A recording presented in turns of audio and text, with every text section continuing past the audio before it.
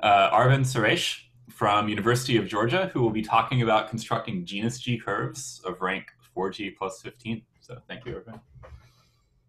Um, thank you so much. Uh, thank you, first of all, to the organizers for organizing this. Uh, it's been great so far. And uh, also thank you for the, the opportunity to speak here. Uh, very excited. so yeah, so let me jump right in. Today's talk is about constructing uh, curves with lots of rational points and um, large Mordell Weil group um, in the Jacobian. And so perhaps the main theorem of today will be the following, which is that if you have an integer g that's at least 8 and with um, genus 2 mod 3, then there exist infinitely many curves over q of genus g, uh, having at least 8g plus 32 q points and having a Mordell Weil rank at least 4g plus 15. And so let me just, without further ado, let me just define um, the things that I, that, I, that I'll need for today. Um, so, so what is going to show up? Uh, a, a, curve over k, uh, here k is a field, a curve over field k is a smooth projective one-dimensional uh, k variety.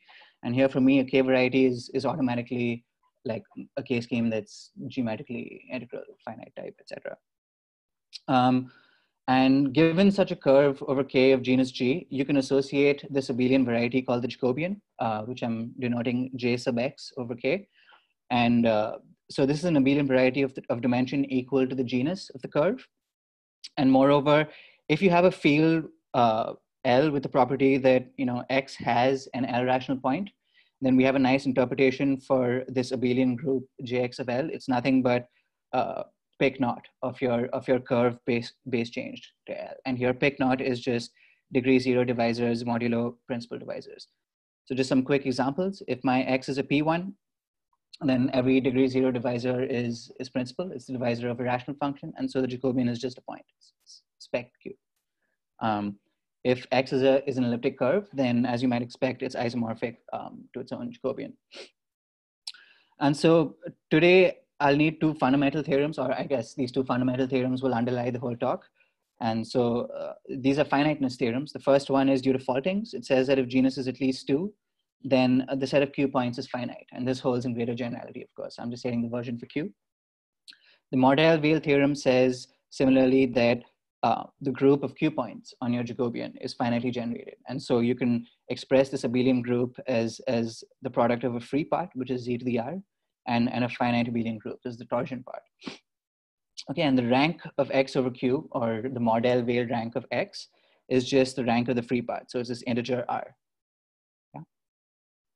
And so here's an ext extremely natural question. You know, as you vary your x over q over all, you know, genus G curves over q, you know, you see what happens to these integers, the set of, uh, you know, the size of the set of q rational points and also the rank, uh, the Mordell Weil rank of x.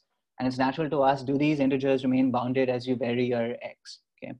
And so here's a slightly uh, more convenient way to reformulate this uh, question. I mean, convenient for the purposes of this talk which is we can ask if the following constants exist. And so I'm going to define these constants here. R of G is the largest integer R such that there are infinitely many genus G curves over Q satisfying the rank, having Mordell Weil rank at least R.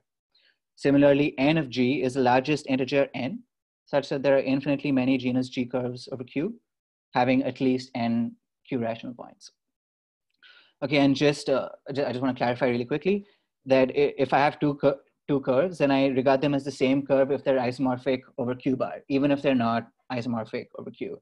And so that's what this infinitely many here means. It means infinitely many that are pairwise isomorphic, non-isomorphic um, over Q bar, okay? And so for all positive uh, genus, whether, the, whether this constant R of G exists or not in open, uh, exists or not is open. Um, and uh, so the closest we come to knowing anything about it is in the genus one case, in the case of elliptic curves, where we actually have uh, multiple heuristics, uh, you know, which were released, you know, within the past uh, five years. And both these heuristics suggest that, in fact, the ranks of elliptic curves of a Q should be uniformly bounded by, by 21. For genus at least two, there's no such heuristics on, on the boundedness of ranks. And uh, the situation's uh, pretty different for, for this constant n of g. And what do we have here? We have this very exciting theorem, in my opinion, of due to Caporaso, uh, Harris, and Mazur. Um, and they prove that if the weak Lang conjecture is true, then this constant does indeed exist for all genus at least two. And here, let me remind you that the weak-Lang conjecture just says that if you have a variety of general type, then the set of rational points is uh, is not Zariski dense in this variety. Okay, and so so what are the current records for for how large these constants are? I mean, we don't know they exist, but we can at least produce explicit examples of high rank curves or you know curves with many rational points to give to get lower bounds. And so the current record for G at least four uh, is, is due to Shioda, who proves that R of G is at least 4G plus 7, and N of G is at least 8G plus 16. And I'm not including the records for uh, G equals 1, 2, 3, because I'm not going to try to break those records in the start. Okay. And so today I want to present some new records. Um, so namely, if you take an integer that's co-prime to 6, then uh, we can improve uh, Shioda's record to the following. And I'll just leave this here for just a second just to, to take it in. Uh, if you see the best case happens when we have genera that are congruent to 2 or 5 mod 6, in which case we can get rank at least 4G plus 15 and at least 8G plus 32 Q points.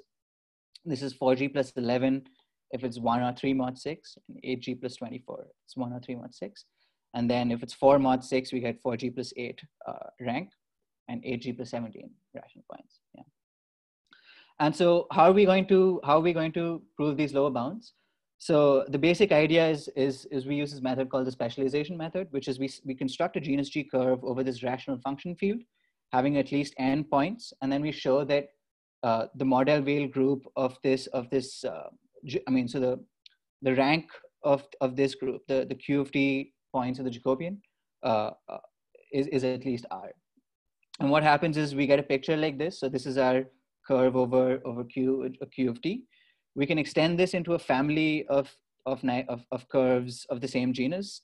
And here, this is some variety whose function field is just Q of t. And so this is something birational uh, to affine n space. Yeah. So these points that we have, they extend to sections. And so these give rational points on these, on these fibers. And these fibers are called specializations. And in particular, we're interested in taking specializations over Q rational points of the base, right? Because that'll give us a curve defined over Q. And so it just turns out, without going into any more details, I'm just going to say that if we know that there are at least n points on the generic fiber, then we know that uh, we can take enough specializations to guarantee n of g is at least n. Similarly, if the rank is at least r on the generic fiber, then we can take enough specializations to get r of g at least r and this relies on on, the, on a theorem of Néron, which is you know sort of the glue that makes this uh, specialization method even you know, work in the first place. And so it's not actually necessary to, to go via the specialization method. So I just thought I'd mention that there's this, you know, it's I think this is fascinating because it's so completely different from from from the method that I'm going to be uh, you know using. Uh, so these authors proved in a, in a very recent paper, I, I think it was just released this summer, in fact, that R of G is at least 4G plus 2, conditional on a conjecture of Nagao. And what's, what's you know, very, what's very different about it is they don't actually produce any, any rational points, explicit points on, on the curves, uh, on the curves which, which witness this, this lower bound for them. And so how are we gonna produce the curves with many rational points uh, that we need in order to apply, you know, to do this specialization method? So the idea is we're gonna use the construction due to Mestre, Okay, how does this work? You start off by taking an even number of indeterminates. Here, this is, we take 2D many indeterminates and we want D to be at least, at least two, and we'll see why. You form this polynomial, which has as roots these indeterminates, okay? And then we wanna apply this, this, this fundamental lemma. Okay, what does this say? It says that given a monic degree 2D polynomial, you can cook up uh, in a unique way, you can cook up this monic degree D and a polynomial, and a polynomial of degree D minus one satisfying this relation. Okay? And so why do we care? Uh, we care because we get a picture like this. We take this polynomial L, L of x and to that and using this data we cook up this curve x over q of u. It's y given by the equation y squared equals L, L of x. It's called a hyperelliptic, hyperelliptic curve right um, we take this piece of data the h of x and we construct this curve y equals h of x yeah and then what are the intersection points? Well, it just turns out, and you can easily convince yourself of this, that this identity actually implies that the intersection points are given by the coordinates u of i, comma, h of u, u of i, okay, which is pretty nice. So interestingly enough, this method sort of starts by taking the x coordinates that you want to specialize, that's the ui's, And then somehow from the x coordinates, you cook up both the curve and you cook up this sort of interpolating function that sort of cuts out these rational points on your curve. Okay, and so there's 2D many rational points in total on this degree d minus one curve, right? Um, so using these rational points, we can cook up rational points of the Jacobian. And here I'm going to take two times a point and I'm going to subtract this divisor at infinity. Is the pre-image of the point at infinity, which is not actually visible um, on these on this affine patch of this curve x. Yeah. So this is degree zero. The divisor class is, is it, it gives you a q, q viewpoint of the Jacobian. Yeah. And so if you just look at if you regard this y minus h of x here, y minus h of x, if you regard it as a function on this curve x, then just looking at the divisor of zeros and poles of that function gives you one relation in the Jacobian between these points. And so Shioda actually proved that there's no further relations. And so you, you get, and so the so these generate a subgroup of rank 2D minus one, giving this lower bound on the rank of the generic fiber. And so what that, uh, what that means for us is you compute what the genus is in terms of the degree, and then you get these lower bounds by specialization. You get n of g is at least 8g plus 12, and r of g is at least 4g plus 5. And so how do we improve this? Um, so somewhat vaguely, the idea is just we take some kind of monic degree e polynomial g of x with indeterminate coefficients. okay, and we just replace x with g of x everywhere so that our original identity m of x equals h of x squared minus l of x. Now that becomes the identity m of g of x becomes h of g of x squared minus l of g of x. Okay. And so this m of x was originally degree 2d, now it's degree 2de. And so now we actually get this picture, okay, where we introduce these indeterminates t of i subject to the relation that if you group the first e of them, then they are just the roots of this polynomial g of x minus ui. Yeah. And similarly, the next next e the group of e of them is is is just the roots of g of x minus u2. And so what that means is under the map x goes to g of x, the pre-image of u1 is just all the t t1. So, so it's just this group of of e e points. The pre-image of this is just this group of e points. Yeah. And so so here you see this curve looks more complicated and that's, that's my attempt to reflect the fact that you know the, the degree has gone up so you've got a more complicated curve okay and so the degree has gone up i mean the genus has gone up but then we've also you know increased the number of points and so have we gained anything by doing this um, uh, we actually have which is i'm going to denote this curve x tilde yeah and so this is degree e times d minus 1 now so the genus is G tilde, the number of points is N tilde, and the expected rank is R tilde, whatever, the, whatever that means. And I, am not going to try to clarify that uh, in this talk. And it turns out, and the punchline is what we gain by doing this is, is the following. It's that the number of points we get now is 8, 8 G tilde, plus now it's 4 times E plus 2. And here E is the degree of the, of the map that we apply, the, the G of X. Okay, so if g of x is equal, if the degree is one, that means we're not like, we're not doing anything. And then as expected, we get four times uh, one plus two, we get 8g um, plus 12. And then here we get 4g plus five. And then that's just what you get from, from you know, the baseline method that I, you know, that I described above. Okay. And so these coordinates, I mean, these indeterminates Tijs satisfy all these, uh, these relations. And actually, so they define um, this variety G E of 2D. Okay, and I'm gonna I'm gonna explain what that is now. Uh, I mean, bef- sorry, before I explain what that is, uh, what do we need to actually make this observation or you know this trick effective to actually get lower bounds on n g n of g and r of g? Well, what we need is we need to find a q rational variety so that we have lots of you know q points that we can take specialization uh, over, and also uh, we want to prove like, and this is actually pretty non-trivial. We need to prove that the points constructed this way on the Jacobian, that they're actually as linearly independent as, as we hope for them to be, okay? And so what is this GE of 2D?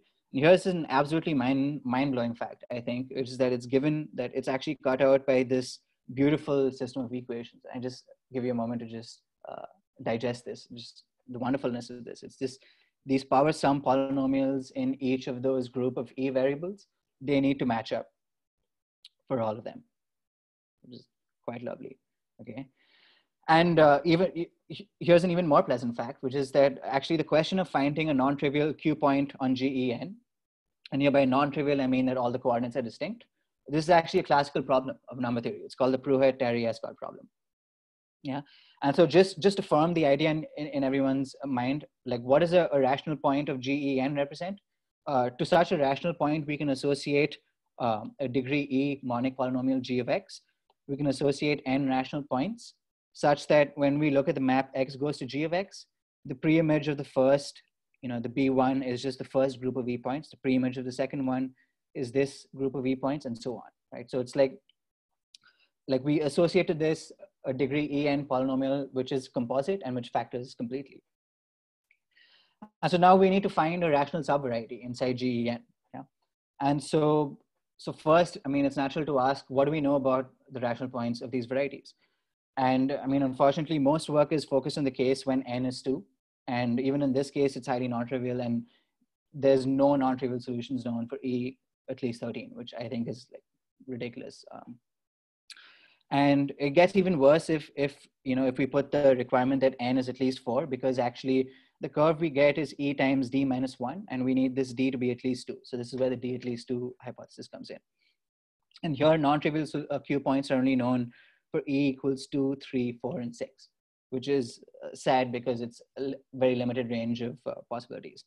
But it's not all bad because uh, in like in each of these cases, uh, the rational points that, that are known to exist, th there's actually infinitely many of them, and they all live on this uh, Q rational subvariety, which is which is which is what we need.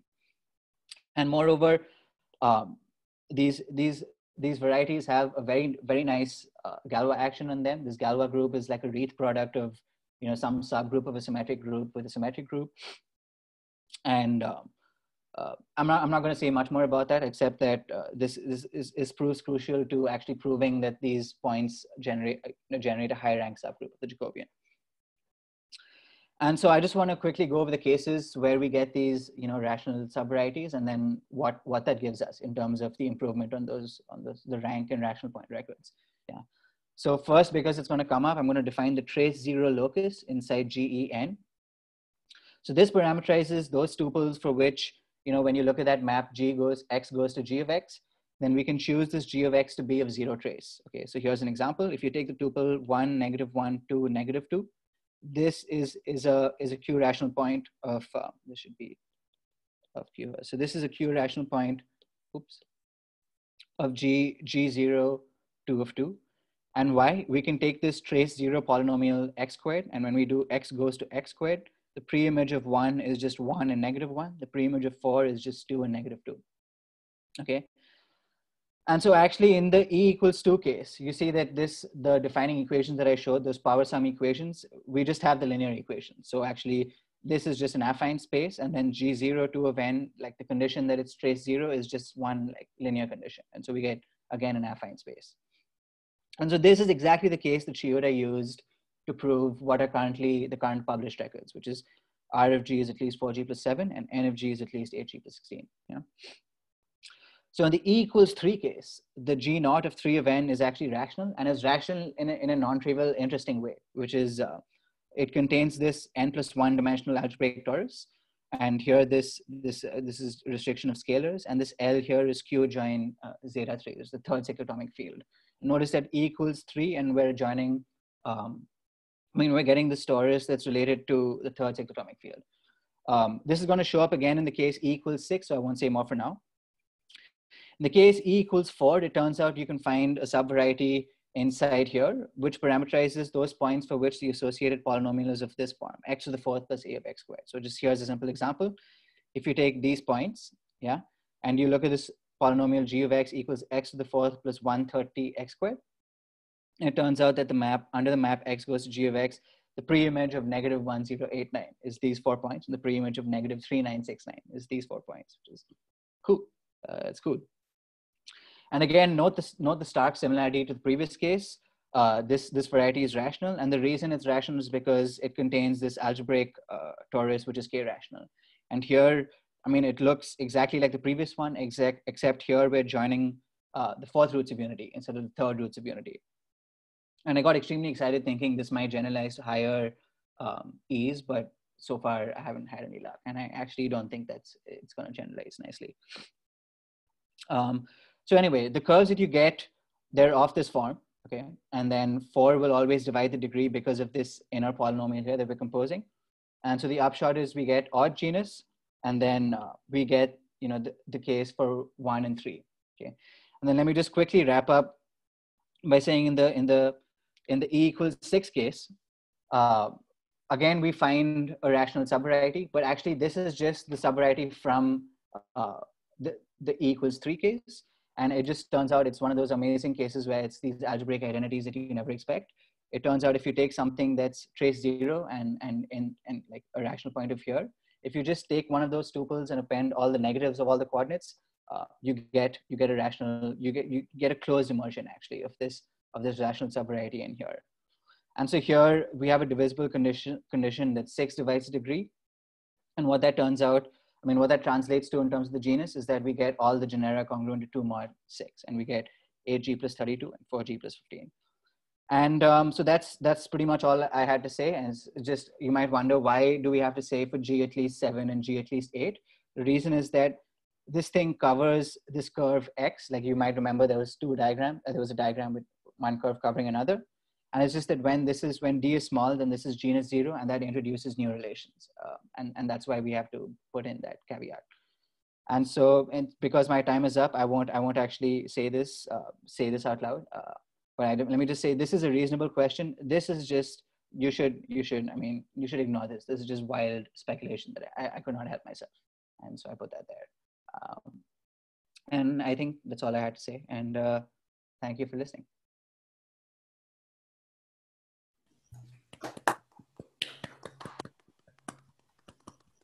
Um, I'll start with one quick question. Have you tried taking these families you construct uh, and specializing them further to construct exam- like outliers, so examples where the number of rational points is even larger?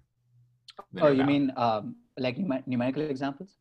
Yeah, yeah. So can you find examples where uh, the number of rational points, yeah, numerical examples, where the number of rational points is even larger than your lower bounds? So I started this off in, in the genus uh, two case. So applying it, uh, so applying, so in the, in the E equals six case for G equals two, I, I, I started this off, but literally the follow, the smallest, you know, size, you know, rational point that I could, I could think of, uh, already the coefficients of the curve were like, were like five digits and um, I don't have much luck. And I'm, and I'm also like, not very good at it. Like, it's okay. A scale, right? But yeah. Any other questions?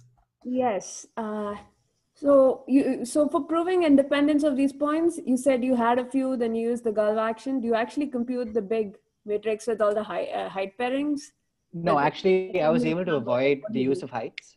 Huh? And uh, so there's no heights. It sort of pretty much only re- relies on Galois theory. The idea is sort of you take a relation that should not, that you think should not exist, and you apply the Galois action to cook up a torsion point uh, that's not fixed by the Galois action. And then you argue that, well, these, this torsion point is defined over a, a transcendental extension over the, the field of definition of the curve, but, uh, but it needs to be algebraic over the field of definition. And uh, you sort of cook up a contradiction there. And uh, so, so that's how you, you show that you can't have like unexpected relations. Awesome.